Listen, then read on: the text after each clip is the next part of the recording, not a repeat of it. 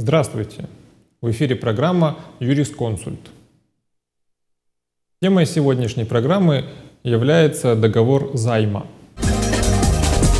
По договору займа одна сторона, заимодавец, передает в собственность другой стороне, заемщику, деньги или другие вещи, определенные родовыми признаками, а заемщик обязуется возвратить заимодавцу такую же сумму денег, сумму займа – или равное количество других полученных им вещей того же рода и качества.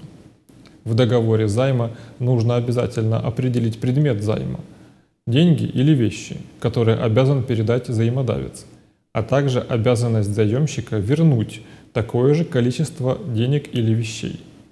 В договоре займа нужно сторонам точно определить, какая сумма денежных средств или какое количество вещей передается заемщику – если такие положения в договоре отсутствуют, то суд может признать его незаключенным, а это может оказаться невыгодным как заимодавцу, так и заемщику.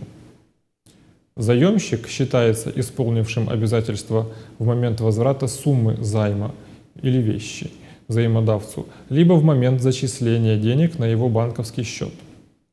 Стороны могут предусмотреть и иное в договоре займа – когда договор займа является процентным, его надлежащее исполнение предполагает также уплату процентов на основной долг в полном объеме. Сумма займа должна быть возвращена в срок и в порядке, которые предусмотрены договором займа. Если в договоре условия о сроке отсутствуют или он определен моментом востребования, то заемщик должен вернуть предмет займа в течение 30 дней со дня предъявления заимодавцем требования о возврате. В договоре займа может быть не указан срок возврата суммы займа, но определен срок действия договора. В таком случае такой срок будет считаться сроком возврата суммы займа. В случаях, когда стороны срок возврата займа в договоре не установили или определили моментом востребования, сумма займа должна быть возвращена заемщикам в течение 30 дней – со дня предъявления взаимодавцем требования об этом. В договоре займа вместо конкретной даты можно написать, что заемщик обязан вернуть предмет займа в течение определенного срока с момента, когда взаимодавец предъявит такое требование.